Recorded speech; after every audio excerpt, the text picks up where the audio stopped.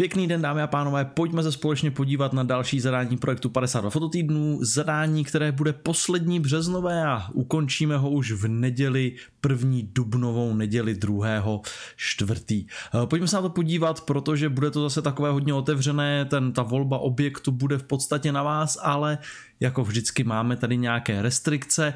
Tentokrát ještě jsme tady letos neměli nic o barvách, takže tentokrát bude ta restrikce barevná. A budu po vás chtít, abyste vyfotili tři objekty a aby každý z nich měl jinou barvu. To znamená tři barevné objekty. Eh, nejjednodušší cestou, kterou se můžete vydat, tak bude samozřejmě nějaká volba velice jednoduchých barevných objektů, vyfotit je na nějakém jednoduchém pozadí, něco jako je tahle fotografie nebo eh, klasicky trikolory paprik. Eh, můžete si pohrát s různými pastelkami, tuškami, můžete se vydat i něčím trošku zajímavějším, například najít si nějakou scénu s klobouky nebo vytvořit si takovou scénu sami.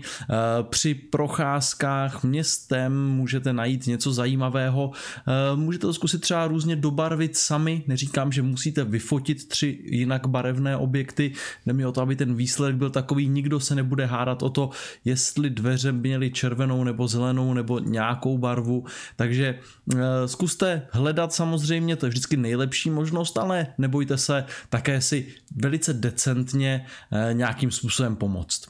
Takže těch způsobů nebo těch fotografií, které můžete pořídit je celá řada, můžete najít automobily, můžete vyfotit semafor, to jsou tři barevné eh, objekty, můžete zkusit vytáhnout nějaké staré hračky, může to být naprosto cokoliv.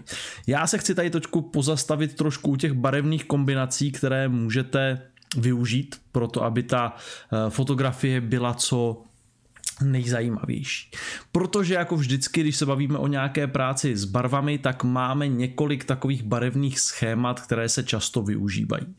Jedním z nich je takový barevný trouhelník, což je tady tahle ta eh, kombinace, kterou můžete znát například z tiskového eh, režimu barev eh, cmik, který obsahuje nějakou fialovou složku, nějakou azurovou a žlutou složku, pak, pak je tam také eh, čistě černá key složka, která ale samozřejmě tady v tom barevném eh, kole obsažená nebude, tak jak ho máme tady, takže eh, Určitě jsou to věci, které znáte.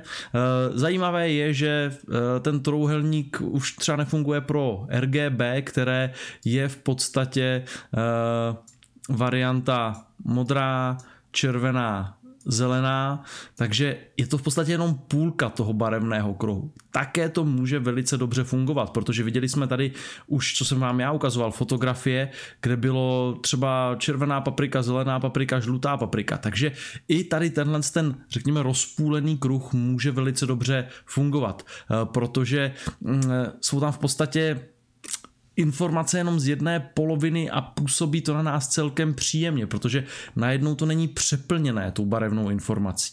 Eh, můžeme ale jít do nějakého velice kontrastního eh, stylu a zkusit ne doplňkové, ne komplementární barvy, což by bylo eh, nějaká tady takováhle varianta těch protilehlých, ale my můžeme zkusit takzvané rozdělené doplňkové. To znamená, že jsou tam dva zástupci z jedné škály spektra a potom proti ním jedna ta kontrastní barva. To znamená třeba žlutá a červená a proti ním azurová, nebo žlutá oranžová a proti ním taková sitá, hezká modrá. Takže je tady spousta barevných kombinací, které se dají použít. Eh, do určité míry se dá říct, že téměř jakákoliv, ale není to úplně tak jednoduché. E, jsou některé barevné kombinace, které nebudou příliš zajímavé v Záleží taky samozřejmě hodně na těch objektech a na tom kontextu, ve kterém je budete fotografovat. Takže můžete si vyzkoušet, eh, můžete hledat objekty, mějte oči na stopkách.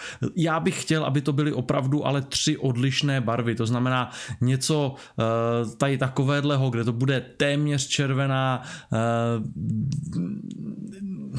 pojďme do opravdu tří velmi oddílných barev. A také bych chtěl, aby to byly tři plnohodnotně barevné objekty. To znamená ne například tři barevné vlajky, které vlají ve větru. Eh, pokud to budou tři vlajky, každá z nich je trikolora, chtěl bych, aby to byly každý ten objekt, aby měl jednu svoji plnou barvu, nebo dominantní barvu, chcete-li, a každý, aby ten objekt měl jinou tu dominantní barvu. Takže není to jenom o tom najít tři libovolně barevné eh, objekty, ale chtěl bych, aby to byly tři plnobarevné objekty. Doufám, že to je jasné, co tím chci říct. Já se jako vždycky budu těšit na vaše fotografie, mějte se krásně a vidíme se u dalšího zadání nebo hodnocení.